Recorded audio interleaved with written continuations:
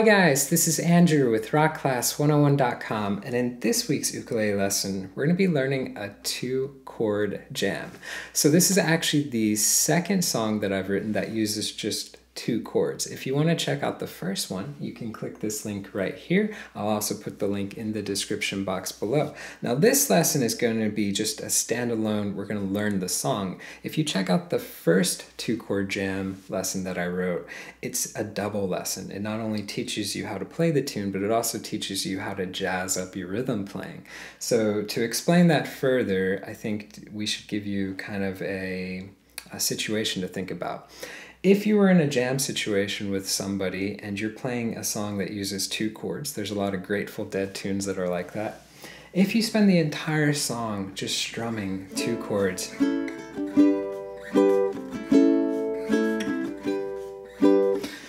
it gets really boring after a few minutes, right? So that previous two chord lesson teaches you a lot of ways to make your playing a lot more interesting and the end result is that you're adding to the music. Now I don't want to give you the ways that it it does that and what it teaches you because I want you to check it out. So if you're curious go check out that other lesson.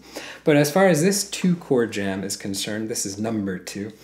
This one is just a groovy uh, kind of sounding piece. It's very bluesy in the A melody, and then the B melody has a cool vamp on one of the two chords. And I think this song is a really good standalone solo performance piece. So really fun to play.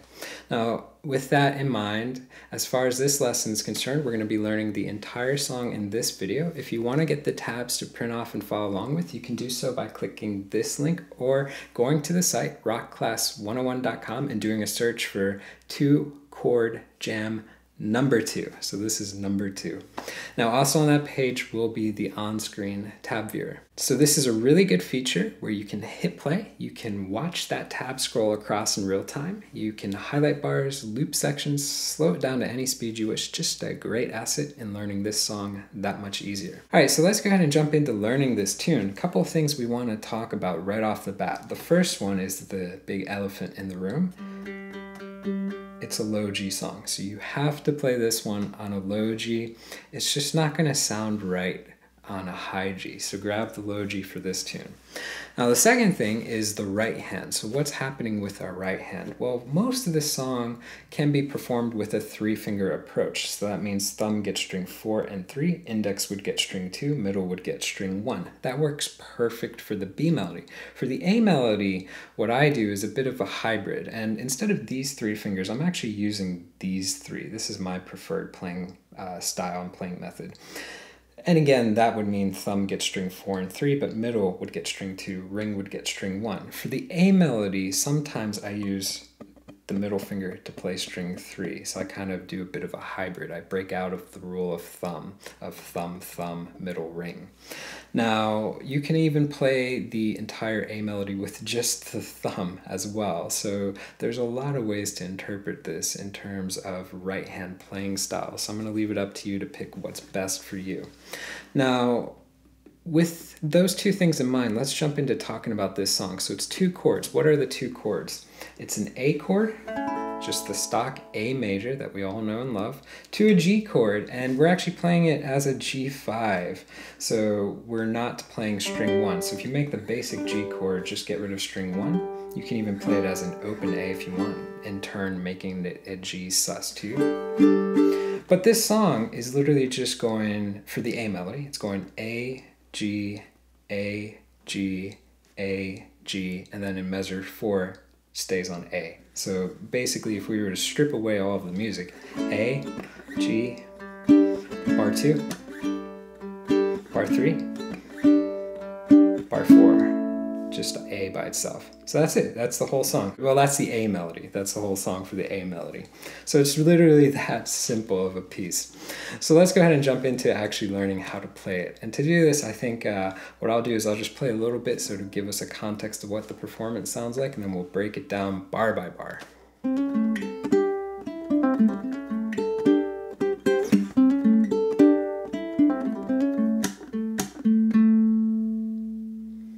Okay, so there's a good little gist of our first four measures. And the big thing too I didn't point out is that that A is going to be for the first beat and a half. The G happens on the end of two. So you want to keep that in mind. And you can see that as we put up the tab right there, you can see that the change to G happens on the end of two. A lot of times it's always split even where it's beat one and beat three, but we have on the end of two for this one. So keep that in mind too. Now there's two ways that you can approach learning this tune. If I play just this first measure, that's what it sounds like.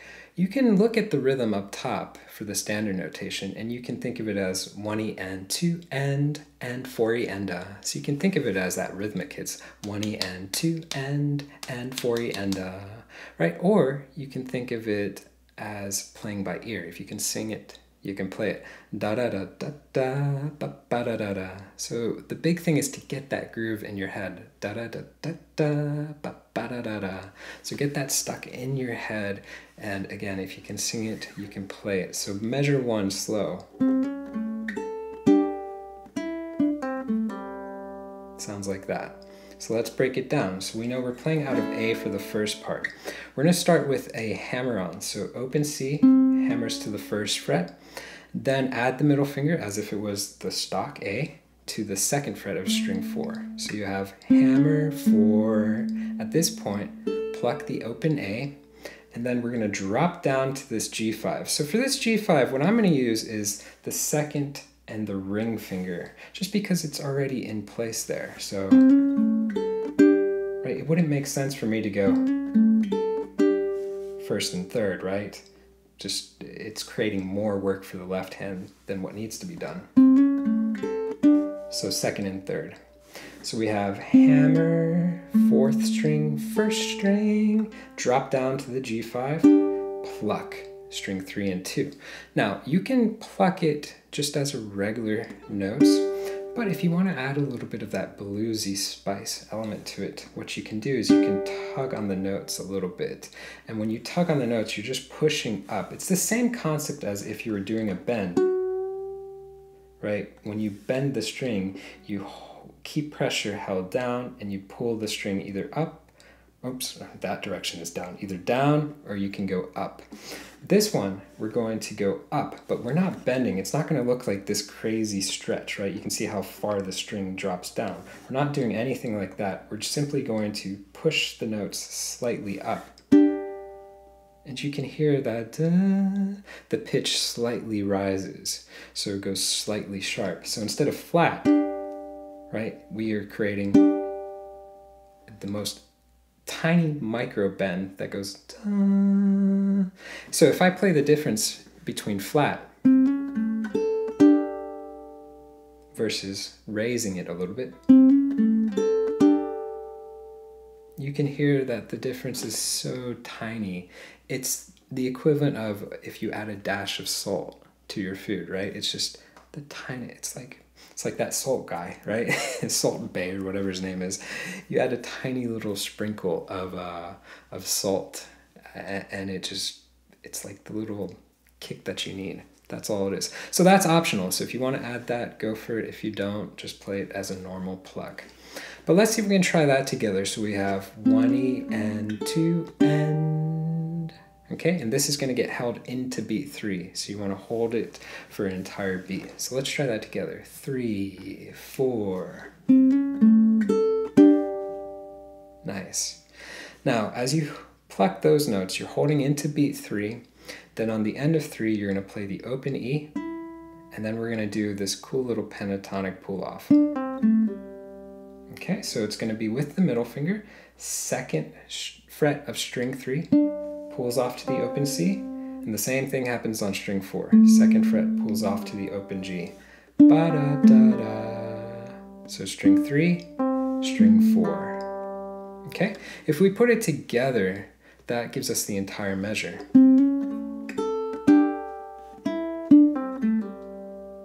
Okay, let's see if we can try together. Three, four, one E and two and three and four E and uh Okay, one more time slower. Da da da da da, ready, go.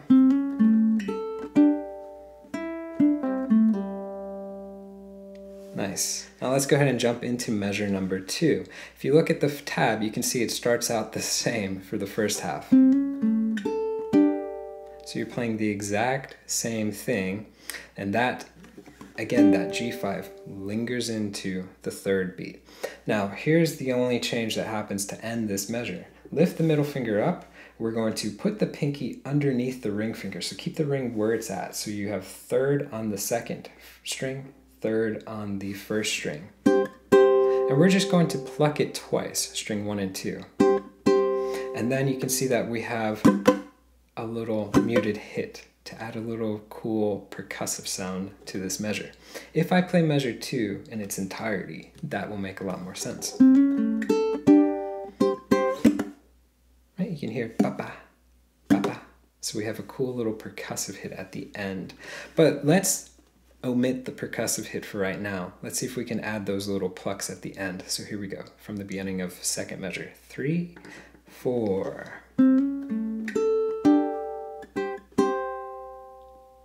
Nice. And again, ready, go.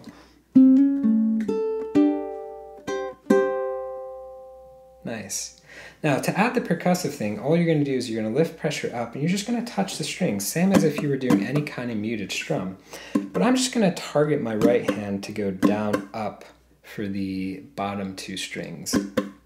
And that's it, just a normal strum, just targeting these bottom two strings. If you hit all four strings, that's fine. But my playing style, I just usually target the bottom couple strings. So if we add that to the mix, we have three, four.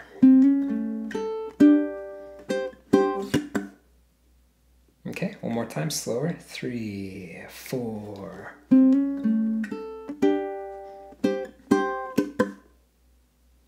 If we backtrack, let's try one into two. One, two, ready, go.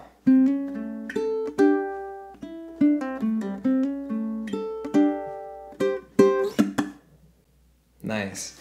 Now as we go into measure number three, it's going to be identical to measure number one. So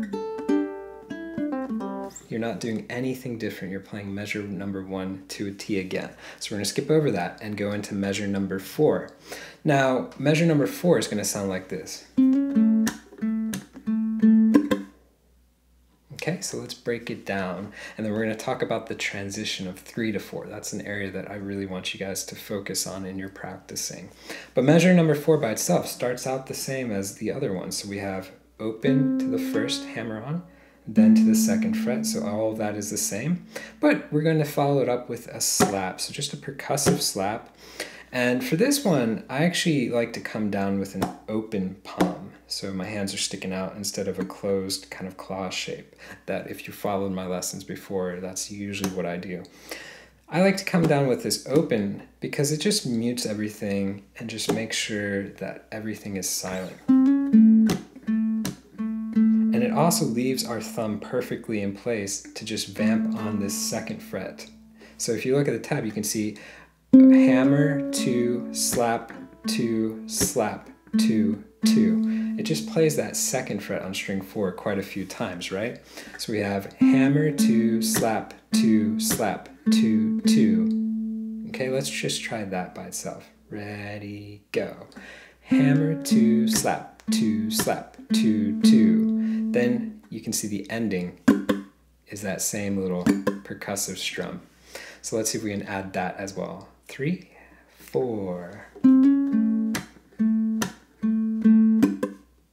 Now, backtracking to uh, talking about the transition of going three into four, and this was actually the same transition of going one into two. So if you think of the ending of measure one and measure three, they're identical, right? You have that pull off and then it repeats into the little hammer on part. That's probably an area that I would practice. Four and a hammer two, four and a hammer two. So you're literally just vamping on the little ending section. A finger frenzy, not a big one, but it's a good area to practice to get the timing nice and smooth as you transition measure to measure. So I just want to point that one out. But let's do this now. Let's try three into four, and then we'll try one through four. So three into four, here we go. Three, four.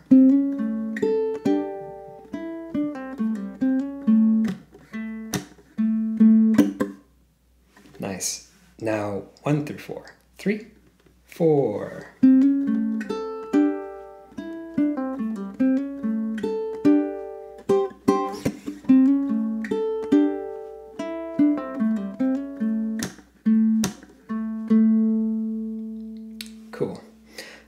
Here's the thing, guys. When you finish that fourth measure, that is going to be considered ending number one. Okay, so that means that you're going to go back and you're going to play measure one, two, and three all again. So you're playing.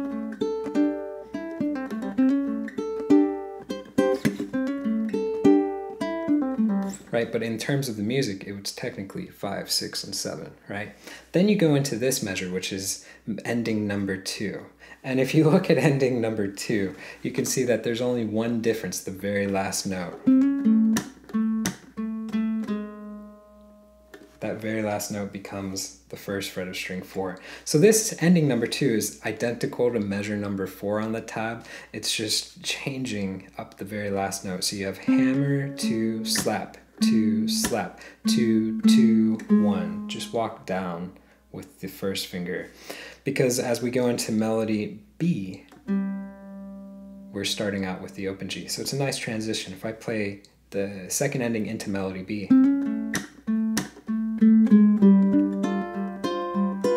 right, it's a cool little chromatic walk down to take us into the B melody. So let's try this se second ending. It's very simple. Here we go. Three, four. Nice. Now, as we go into melody B, let me play a little bit of it and then we'll break it down and we'll talk about the harmony because it changes for this one.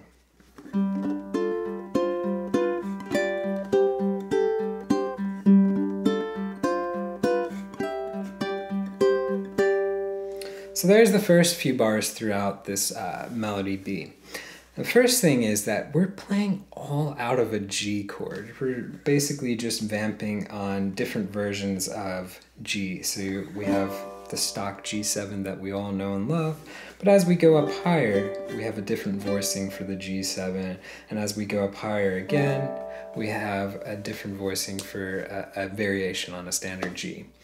And basically, if you checked out that first lesson that I linked for the two chord jam, that was one of the things that it taught you was uh, how to play different voicing of the same chord in different spots of the neck. So what does that mean? Well, let's take the C major chord as a, it's a good example. If we were, if everyone was playing a C major chord here, you could take the G chord shape, play it up here, and it becomes a C chord. If you play that on top of somebody else who's playing the basic C chord here, it creates a beautiful harmony and really adds to the music instead of everyone having the exact same sound that this creates. This creates a higher voice, much prettier, and layers on top of it to create a nice little harmony.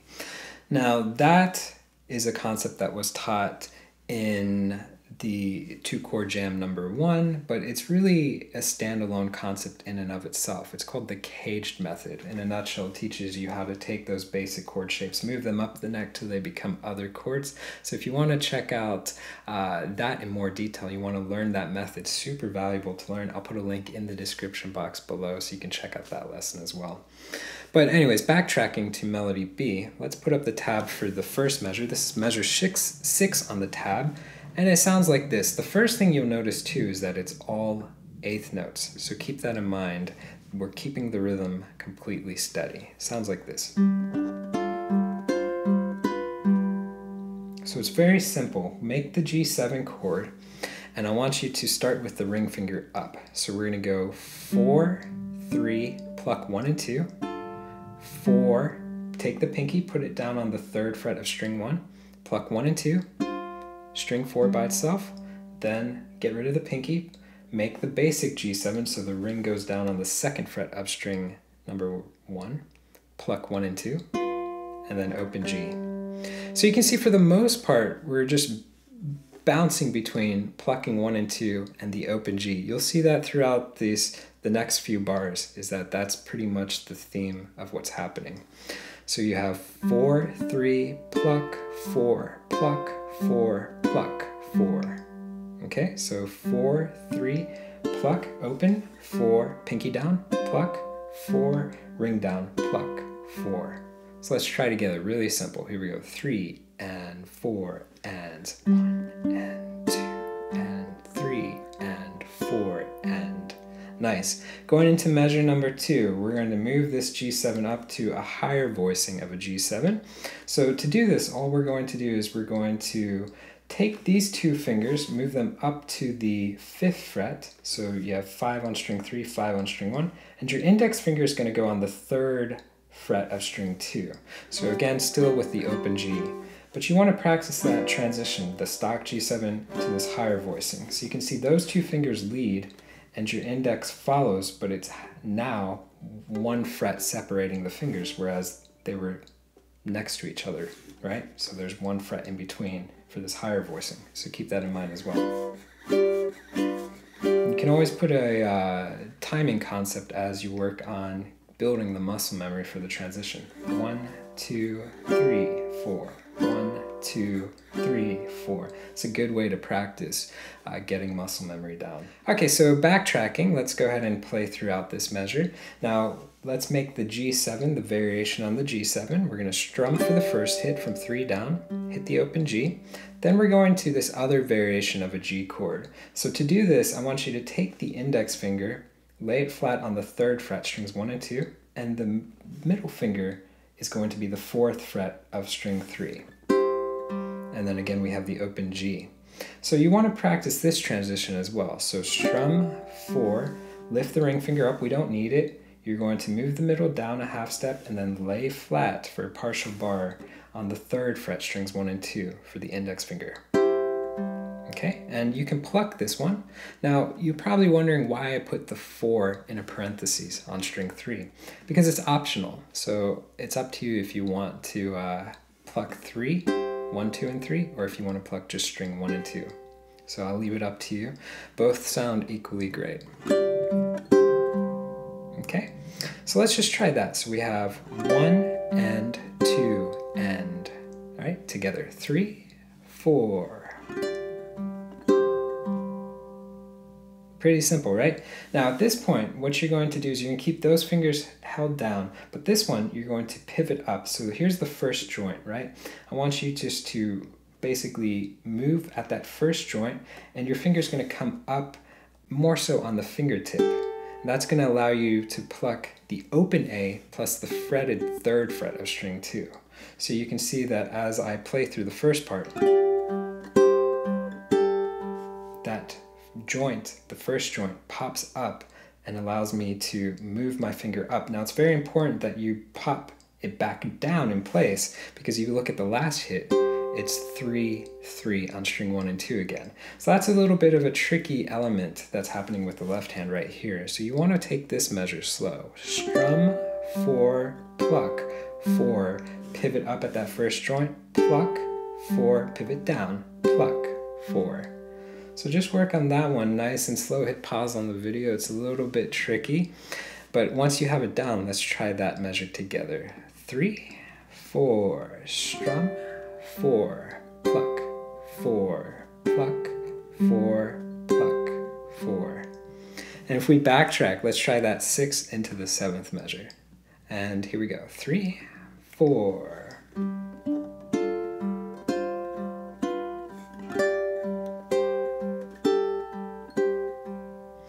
So one thing you can take away too is that you see most of it is just the vamp between the pluck and the open G. So that makes the right hand really easy to memorize.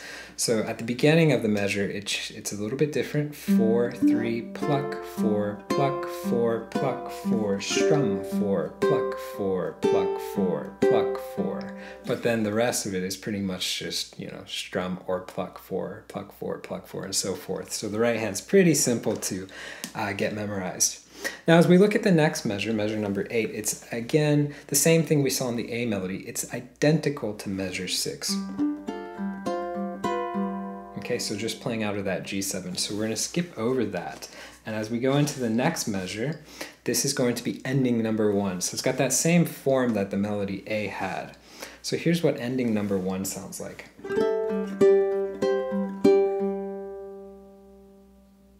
So cool little uh, uh, movement that's happening. So again, we're starting on a variation of the G chord. Now, we know from the previous variation that we did when we did this one, the G7 1, it was 5 3 5. You're going to take that same shape and just move everything up a whole step. So you're going to be 7 5 7. And again, the G string will be open. So that's going to give us this first chord hit for this measure. So I want you to strum 3 down, hit the open G, then move it back uh, down a whole step to G7 1 and I want you to pluck either string 1 and 2, or if you want, string 1, 2, and 3, and then the open G. So with this one, let's just try that first half of the measure. So we have this G, strum, 4, pluck, 4. Let's just try that. 3, 4, strum, 4, pluck, 4. Nice. Now, to end it, you're going to transition back to flat with the middle finger on the fourth fret of string three. So you're going to pluck that, hit the open G, and then transition back to 535, the G7 1. Okay, so again, chord shapes that we've already tackled, we just have to memorize when they happen. So the entire measure, strum, four, pluck, four, pluck, four, four. Okay? So just memorize the variations of the G chord that we've played and know when it happens. And let's see if we can try this bar together. Three, four, strum, four, pluck, four, pluck, four, pluck, four. Nice. Now if we backtrack, let's try the last two measures together. So eight into nine. Three, four.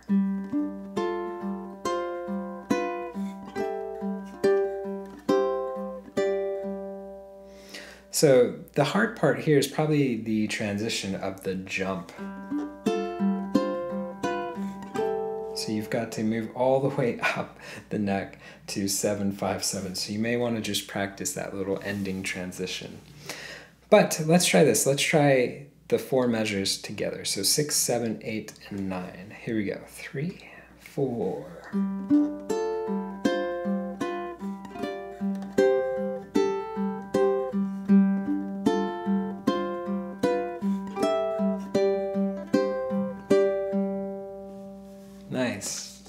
So that's going to repeat again. So you're going to jump back and you're going to play measure six, seven, and eight one more time.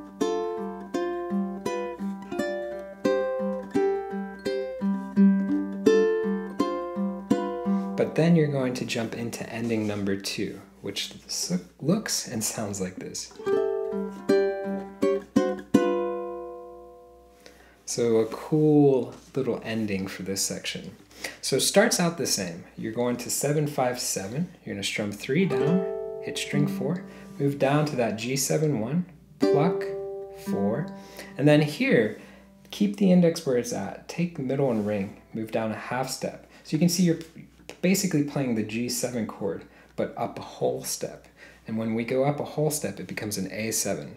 So I want you to pluck 1 and 2. I'd recommend 1 and 2 just for this. But if you want, you can pluck all three. But to me, one and two sounds the best to my ear. So I'm gonna pluck one and two, go down a half step, pluck, down a half step, G7, pluck. So I ba ba ba.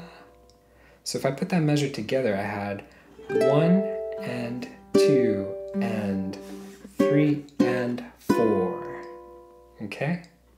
So not too, too hard. Let's see if we can try together. Three four, one and two and three and four. So beat four is a whole beat. So keep it out for that whole note. I'm sorry, beat four. Uh, beat four is a quarter note, last one beat, not a whole, not four beats. My, yes, laughing at me because I'm calling it out wrong. But B4 is a quarter note. So that's basically it, guys. Um, because after you do that, you're going back into the A melody. And when you go back into the A melody, we're just going to play half of it. So we're just going to play four bars as we jump back into the A melody. So the A melody is going to be like this to end the song.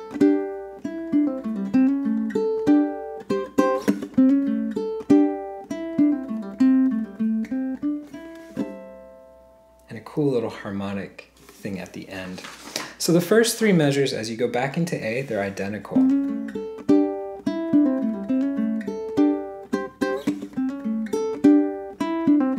So all that's the same. The only thing that we have new to learn is the very last measure of the tune. So it's going to sound like this. Okay, so let's tackle that. So it starts with an open C, then we have 2 to 0 on string 4. It's a quick pull off one and uh, then go back down on the second fret of string four, then play the open C, then back down on the second fret of string three, and then the open E. So ba da da da da da da. Okay, so we have O pull off to O to So let's try just that. Three, four. Okay, and then the last hit is just going to be harmonics on the 12th fret. So natural harmonics from three down and you're going to strum down. So if you're new for that technique, we have a mini course that teaches three ways to perform harmonics. So you can click that link to check it out.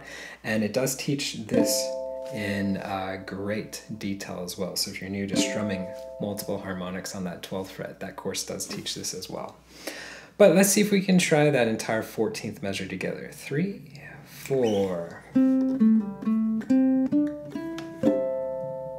And that's it. So if I cycle through this A melody to end it, I have